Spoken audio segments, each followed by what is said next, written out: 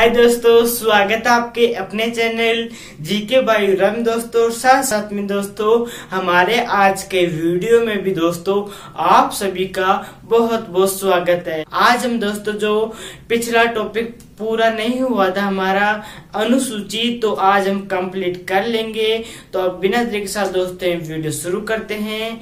आज के इस वीडियो में दोस्तों, हमारी जो अनुसूचियाँ थी, जो कि बाकी थी पिछले वीडियो में पूरी नहीं हुई थी, वो जो बची थी दोस्तों, वो अनुसूचिया दोस्तों, इस वीडियो में हम देखने वाले हैं। और जो टॉपिक अनुसूचिया को, जो टॉपिक है, वह आज पूरा हो जाएगा। तो वीडियो को दोस्तों आप पूरा ज़रूर देखें।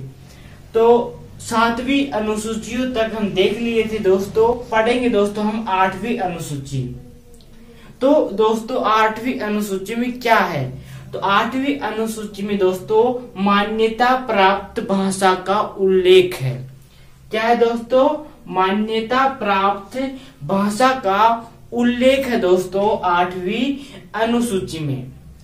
दोस्तों, यह हम कह सकते हैं कि हमारी जो भाषाएँ हैं, दोस्तों हमारी 22 भाषाएँ हैं। कितनी 22 भाषाएँ हैं?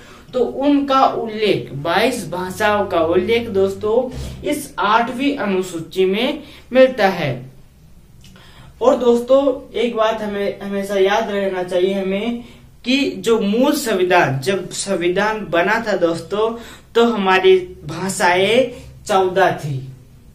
हमारी चौदह भाषाएँ थी। दोस्तों, जब संविधान बना था, मूल संविधान में, और वर्तमान में दोस्तों, हमारी बाईस भाषाएँ हैं, जो कि उनका, उन भाषाओं का उल्लेख इस आठवीं अनुसूची में मिलता है। चौदह भाषाओं के बाद जितनी भी भाषाएँ जोड़ी गई, वो हम देख लेते हैं। अब है दोस्तों, इक्कीसवे, इक्कीसवा संविधान संशोधन उन्नीस सौ सड़सठ। इसके तहत दोस्तों, सिंधी भाषा जोड़ी गई थी दोस्तों आठवीं अनुसूची में। कौन सी भाषा? सिंधी भाषा जोड़ी गई थी। इक्कीसवा संविधान संशोधन उन्नीस सौ सड़सठ हुआ था दोस्तों, उसमें सिंधी नामक भाषा जोड़ी गई। अब दोस्तों, इकहत्तरवा संविधान संशोधन उन्नीस सौ बानवे में बानवे में दोस्तों, नेपाली, मणिपुरी और कोकणी। नेपाली, मणिपुरी और कोंकणी भाषा जोड़ी गई। अब इसे याद रखने की ट्रिक है नमक। न से नेपाली म से मणिपुरी और कैसे कोकणी। तो नेपाली, मणिपुरी और कोंकणी भाषा दोस्तों, इकहत्तरवे संविधान संशोधन उन्नीस सौ बानवे में जोड़ी गए थे। बानवा संविधान संशोधन। 2003 में दोस्तों, बोडो, डोगरी और मैथिली और संथाली। ये भाषाएँ जोड़ी गई थी दोस्तों बानवे संविधान संशोधन 2003 में। तो कितनी भाषा हो गई? एक चौदह के बाद पंद्रह, सोलह, सत्रह, अठारह, उन्नीस, बीस, इक्कीस, बाईस। बाईस। तो हमारी दोस्तों बाईस भाषाएँ हैं, जिनका उल्लेख इस आठवीं अनुसूची में मिलता है। तो अब दोस्तों आगे भी हम देख लेते हैं। अब दोस्तों आगे हैं नवी अनुसूची। इसमें दोस्तों भूमि सुधार अधिनियम का उल्लेख है। क्या है दोस्तों? भूमि सुधार अधिनियम का उल्लेख है दोस्तों, नवी अनुसूची में। यह नवी अनुसूची दोस्तों, प्रथम संविधान संशोधन उन्नीस सौ इक्यावन में जोड़ी गई थी। दोस्तों, पहले कितने मूल संविधान में कितनी अनुसूची थी? आठ अनुसूची थी, जो को, जो कि हमने पढ़ ली है अभी। और अब कितनी बची? चार अनुसूची, जो कि बाद में जोड़ी गई। वर्तमान में कितनी है? बारह अनुसूची। तो अब जो नवी अनुसूची है, वह दोस्तों, जब प्रथम संविधान संशोधन उन्नीस सौ इक्यावन हुआ था, उस संविधान संशोधन में दोस्तों, यह नवी अनुसूची दोस्तों, जोड़ी गई थी। इसमें क्या है? इसमें भूमि सुधार अधिनियम का उल्लेख है नवी अनुसूची में। अब है नवी अनुसूची से संबंधित अनुच्छेद। तो अनुच्छेद इकतीस बी अनुच्छेद इकतीस बी नवी अनुसूची से संबंधित अनुच्छेद दोस्तों। समझ में आ गया दोस्तों, कोई डाउट यहाँ तक? अब अगला है दसवीं अनुसूची। तो इसमें क्या है? इसमें दल बदल से का उल्लेख है। क्या है? दल बदल का उल्लेख है। सबसे पहले तो दोस्तों हमें यह पता रहना चाहिए कि दल बदल होता क्या है। तो जब हमें दल बदल क्या होता है, ये नहीं पता रहेगा तो हमें क्या मतलब पढ़ाई करने का? तो दल बदल। दल बदल क्या होता है? तो सबसे पहले हम देख लेते हैं दल, दल बदल होता क्या है। दोस्तों कोई राजनीतिक पार्टी के चुनाव चिन्ह से दोस्तों चुनाव लड़ता है और वह दोस्तों जीत जाता है परंतु बाद में वह अपनी पार्टी बदल लेता है। अपने दल को बदल लेता है दूसरे दल में चले जाता है। तो उसे क्या कहते हैं? दल बदल। दल को बदलना। दल को बदलना क्या कहलाता है दोस्तों? दल बदल।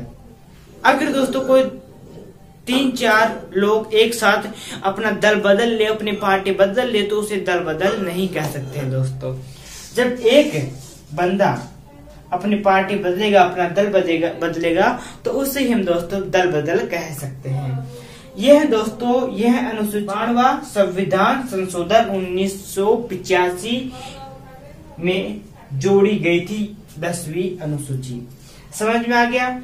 दसवीं अनुसूची से संबंधित अनुच्छेद एक, अनुच्छेद 102 अनुच्छेद एक सौ इक्यानवे। तो एक सौ दो अनुच्छेद, एक सौ इक्यानवे अनुच्छेद, ये दसवीं अनुसूची से संबंधित अनुच्छेद है दोस्तों। तो नवी और दसवीं अनुसूची दोस्तों, आप सभी को समझ में आ गई होगी। तो अब दोस्तों, जो बाकी की अनुसूचियाँ हैं दोस्तों, वह भी देख लेते हैं। दोस्तों, अब आगे है ग्यारहवीं अनुसूची। इसमें क्या है? इसमें पंचायती राज का उल्लेख है। किसके? पंचायती राज का उल्लेख है दोस्तों ग्यारहवीं अनुसूची में। यह अनुसूची दोस्तों तहत्तर व संविधान संशोधन उन्नीस बानवे में जोड़ी गई थी दोस्तों ग्यारहवीं अनुसूची दो तिहत्तरवा संविधान संशोधन हुआ था दोस्तों। उसमें दोस्तों संविधान संशोधन में ग्यारहवीं अनुसूची दोस्तों जोड़ी गई थी। समझ में आ गया? अब इसमें दोस्तों, उनतीस विषय है। क्या है? उनतीस विषय है ट्वेंटी नाइन ट्वेंटी नाइन विषय है दोस्तों, ग्यारहवीं अनुसूची में दोस्तों। और और इसमें अनुच्छेद ग्यारहवीं ग्यारहवीं ग्यारहवीं अनुसूची से दोस्तों, कितने अनुच्छेद अनुच्छेद संबंधित है? तो दो सौ तियालीस छह अनुच्छेद अनुच्छेद संबंधित है। दोस्तों सौ तियालीस छह, अनुच्छेद संबंधित है। दोस्तों ग्यारहवीं अनुसूची से। समझ में आ गया? अब है बारहवीं अनुसूची। इसमें क्या है? इसमें नगर पालिका का उल्लेख है। क्या है? नगर पालिका का उल्लेख है दोस्तों, बारहवीं अनुसूची में। इसमें दोस्तों अठारह विषय है और इसमें ट्वेंटी नाइन विषय है। उनतीस विषय है दोस्तों, ग्यारहवीं में और बारहवीं में अठारह विषय है। चौहत्तरवा संविधान संशोधन, उन्नीस सौ बानवे में दोस्तों, बारहवीं बारहवीं अनुसूची दोस्तों, जोड़ी गई थी। और इसमें अनुच्छेद है दो सौ तियालीस ब अनुच्छेद दोस्तों संबंधित है।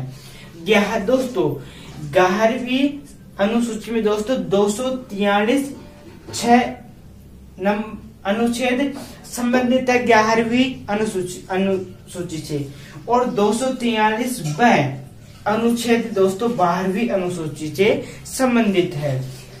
और ग्यारहवीं अनुसूची दोस्तों तिहत्तरवे संविधान संशोधन में जोड़ी गई थी और ये बारहवीं चौहत्तरवे संविधान संशोधन में जोड़ी गई थी। इसमें ग्यारहवीं में उनतीस विषय है, बारहवीं में अठारह विषय है दोस्तों। तो ये थी हमारे दोस्तों अनुसूचियाँ। दोस्तों, बारह अनुसूचियाँ है। दोस्तों, हमारे, हमारी दोस्तों, जो कि पूरी हो चुकी है। आज का वीडियो यही समाप्त करते हैं। जो हमारा टॉपिक था अनुसूचिया, वह पूरा हो चुका है। मुझे पूरा विश्वास है, आप सभी को समझ में आ गया होगा। तो दोस्तों, मिलते हैं अगले वीडियो में एक नए टॉपिक के साथ। तो दोस्तों, तब तक के लिए सभी दोस्तों को जय जय भारत।